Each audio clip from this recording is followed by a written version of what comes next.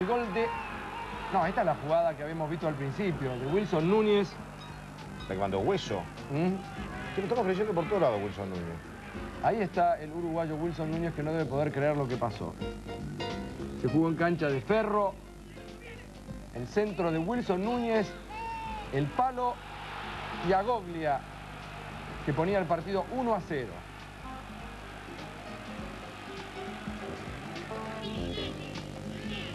Ahora después Opa. de ese codazo de Gabrich es expulsado.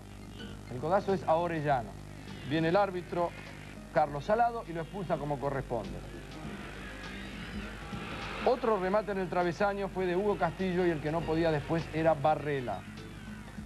El pase de Paz para Castaño Suárez y en esta jugada Salado, como Penal, corresponde, cobra penal. Va a patear Berti y el empate para Newell's. Festeja Alfredo Berti Después le iban a rajar a Racho, ¿no? en esta jugada. Presta atención. Rayo, expulsión por doble amonestación.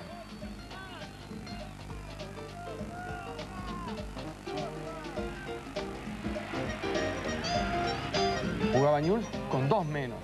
Ojeda lo busca a Agoglia, el cabezazo y el segundo de Español, que ya está cuarto en la tabla de posiciones. Mejor que marca, ¿no? Otra vez a Goglia. Hugo Castillo. Con el borde externo para Goglia. Algunos pedían posición adelantada. Ojeda.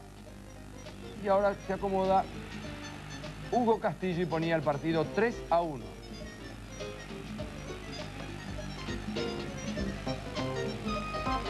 Todavía había más tiempo para expulsiones.